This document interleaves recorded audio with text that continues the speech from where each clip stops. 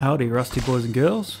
Welcome to the Rust Power Minute, where I have 60 seconds to teach you everything you need to know about a given Rust component, coming at you every day until we're done. Still working on power sources? Today we're having a good look at the small generator. Troublesome to find these boys, but simple enough to purchase them from the outpost. Rather cheap, bit like your mum. Only 125 scrap to buy and an extra 75 to research. These lucky little generators get to live indoors, making them safe from unsavoury nakeds and gentlemen raiders. They're pretty petite so you can tuck them into some fairly cosy spots. Since Facepunch is making it harder by the patch to run power down into caves, they're the most reliable source of power for cave bases. They put out 40 power each, but the cost is steep. We're looking at 250 low grade per hour, with no variation variation in generation compared to use. It burns for 40 and nothing less, so put it to work. It's best to think of them as a burst of temporary power.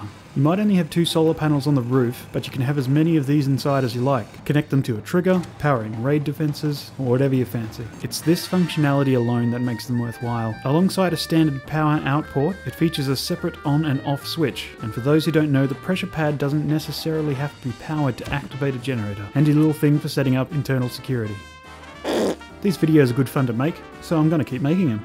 If there's a particular circuit you want to see, leave a comment or visit the Discord. The Discord's alright, some pretty cool people on there. Well, a, a, couple of cool people. A few too many of those clingy types that just hang around, you know? There's this guy called Atlantis. Throws bottles at chicks' faces.